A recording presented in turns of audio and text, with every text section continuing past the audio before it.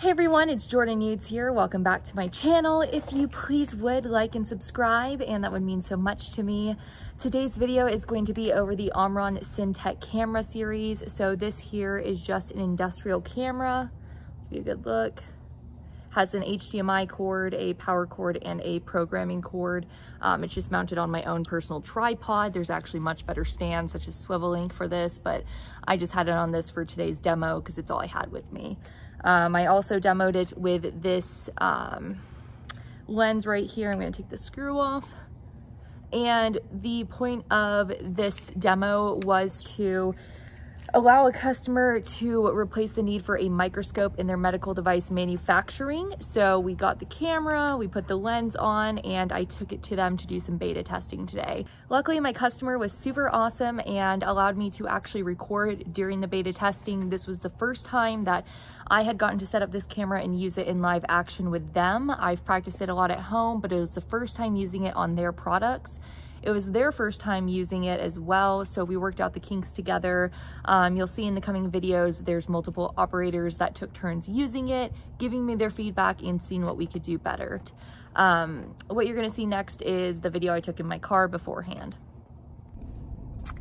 Hey everyone, excuse how messy I look right now. I am in a rush to get to my meeting. So essentially this is an industrial camera and when I add on this lens right here, um, it's pretty easy. You just mount it right on, screws on. These cameras, when connected simply through an HDMI cord and then hooked up to a power source is going to eliminate the need for a traditional microscope.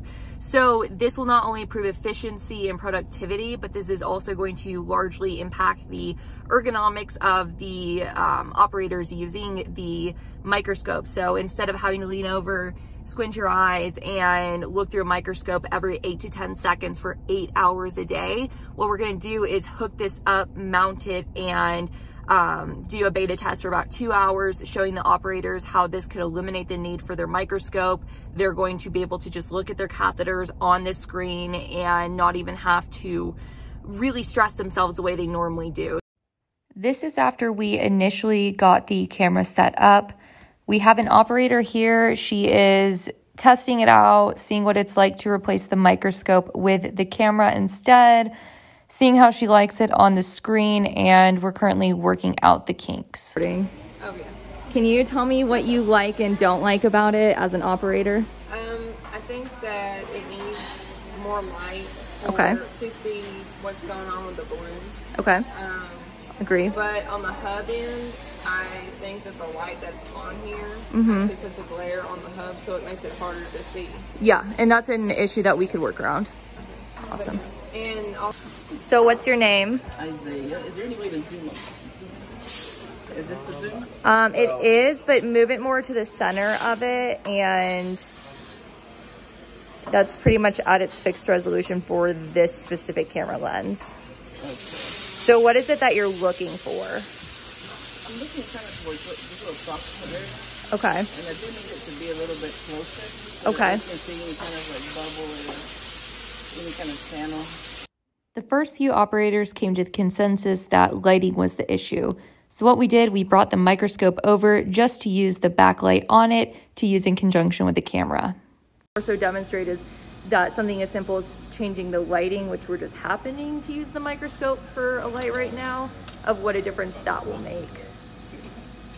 This really visualizes to the operators that this is a possible solution for them if next time we bring in better lighting and limit the exposure to the camera. Here we have one of the engineers checking it out for himself. He seems to be pleased with it too and thinks it's a very exciting product. Now what I want to talk about is today's main takeaway was the fact that this camera is awesome. The operators were quite excited about it, but for a camera to work correctly and do its intended purpose, whether it's for the microscope like we use today, or it's for any other situation where you use a microscope, what's very important is to have the correct lighting. Um, we struggled a bit with having the overhead lighting being fluorescent and it was throwing off a bit of the picture, making it a bit too glaring.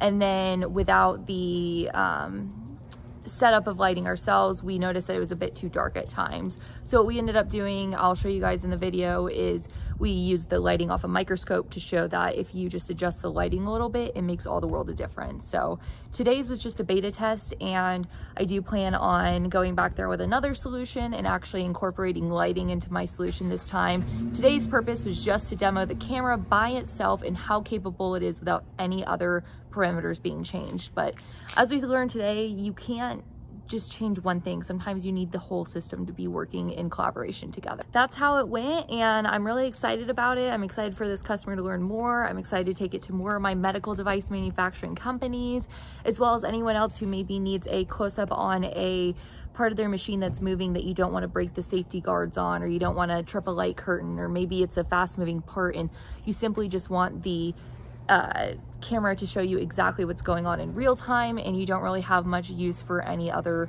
smarter vision than just simply displaying through an HDMI cord onto a screen. So it's a really cool product. Uh, Omron did great on developing the Sentech brand and I look forward to seeing you guys um, learn more about this with me and that's all I have for today.